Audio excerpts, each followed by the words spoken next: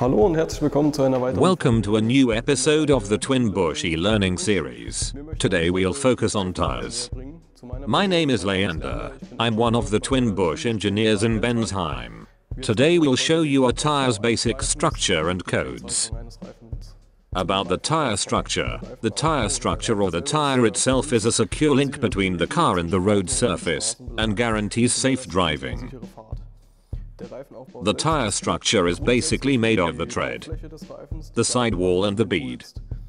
The tire is not only made of rubber, there is also a wire mesh embedded in it to give the tire a certain firmness, um eine gewisse Festigkeit des Reifens herzustellen. especially for the tire bead. The wire core is embedded in the tire bead and forms a ring throughout the tire.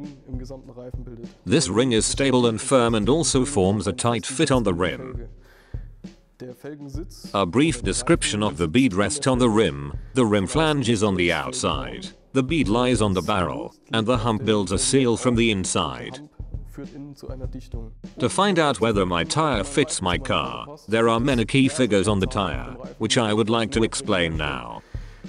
By and large one can say that the permissible wheel tire combinations for a car can be found in the vehicle registration document, but not all authorized combinations are listed there. There are additional COC papers for this, which can be requested from the manufacturer or can be found online. There are special cases when special tires or wheel tire combinations, which don't belong to the authorized ones, are wanted to be mounted on a car. Then you can request a revision and get a certification in this way. The basic labeling of a tire is comprised of the manufacturer or brand name,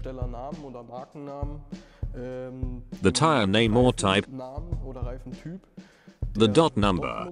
The last four digits of the dot number are important to us. This four digits show us the fabrication date. In these case the 20th week of the year 2016. The type of tire, whether it's a summer or winter tire. The M plus S shows that this is an all-season tire, and the snowflake symbol shows us that this tire has been tested for winter suitability. In this area we find the most important information about the tire. The tire size, the load index, and the maximum authorized speed, as well as the tire's direction of rotation. It's important to make sure the tire is mounted in this direction during tire fitting. The tire size is subdivided into a number, separated by a slash, another number, a letter, and a number. The first number, the 225, is the nominal width of the tread. The 45 is the relation between the tread and the sidewall. The R means that this is a radial tire. And the 17 is the rim diameter, a 17 inch rim in this case.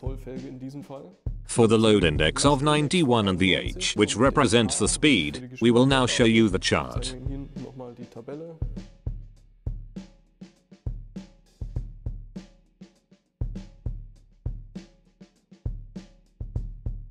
At some point you'll ask yourself, can I still drive with my tire or should I change it? There are different indicators which show me if I can still drive with a tire or not. On one hand there's the dot number, the year number, or the fabrication date. It's a guideline. The tire shouldn't be used for more than 6 years. Because after a certain aging time the rubber becomes brittle and the material can dissolve, in quotations. In the worst case, parts of the tread could crumble off and jeopardize the safe use of the tire. Die sichere Benutzung des Reifens äh, gefährden. Another value that is also stipulated by law is the tread depth. Ist die Profiltiefe. The tread depth shouldn't be less than 1.6 mm on summer tires and 4 mm on winter tires.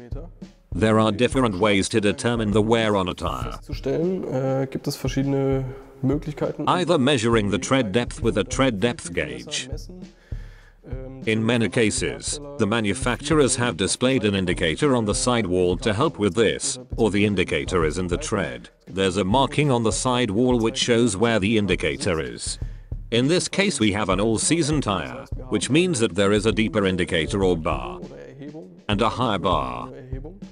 The deeper one is the 1.6 millimeters depth. When this depth is reached, the tire is absolutely unfit to drive and needs to be replaced. The taller indicator is the winter marking of 4 millimeters.